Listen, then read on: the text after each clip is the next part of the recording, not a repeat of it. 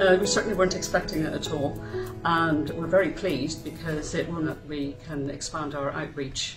Our um, footprint extends further than just the city boundaries. We go as far as Brockworth, Churchdown, and um, you know Maisemore on a couple of occasions, even Newent. And it means that um, we can actually provide for those people out there rather than them having to come into the city.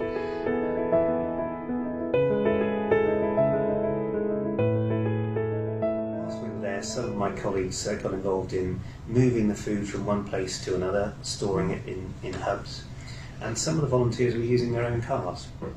Nothing wrong with that, of course, but trying to carry a lot of foodstuffs in a private car was quite a challenge. Uh, and it dawned on us, of course, that we have a number of vehicles that we have, vans in particular, that have been used for policing. Uh, that were coming to their, the end of their policing life. and then the chief sort of suggested perhaps we could um, sell them a vehicle at uh, a very reasonable price.